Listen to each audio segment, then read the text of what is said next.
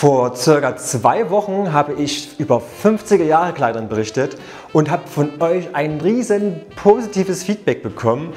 Danke an der Stelle nochmal und ich habe auch eins festgestellt, viele hatten Fragen Richtung Rockabilly-Kleidern. Das geht ja in die Richtung von 50er Jahre und genau diese Fragen, da waren sehr, sehr interessante Fragen dabei, habe ich in einen Bericht niedergeschrieben, den ihr entweder hier auf diesen kleinen Banner findet, also, also hier einfach draufklicken oder unterhalb vom Video findet ihr auch einen Link, wo ihr direkt zu diesem Artikel kommt, wo ich genau eure Fragen genommen habe, um diese Antworten da niederzuschreiben. Also sprich, ihr bekommt da Tipps und Tricks an die Hand zu Outfits, wo kaufen, welche Formen oder Farben gibt es oder auf was ihr achten sollt, wenn ihr ein bisschen Übergröße habt oder einen großen Busen.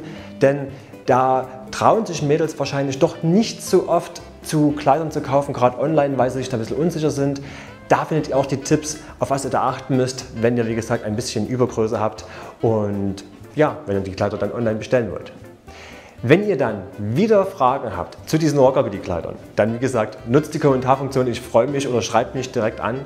Und wenn ihr wissen wollt, wie man solche Kleider ja günstig ja, online bekommt, dann abonniert mich hier einfach oben auf den kleinen Logo und folgt mir auf YouTube. Auf der Seite von Fancy Beast findet ihr dann natürlich auch noch die verschiedenen anderen Icons wie Facebook, Twitter und Co. Ich würde mich freuen über die Däumchen und in diesem Sinne viel Spaß mit den Rockabilly-Kleidern.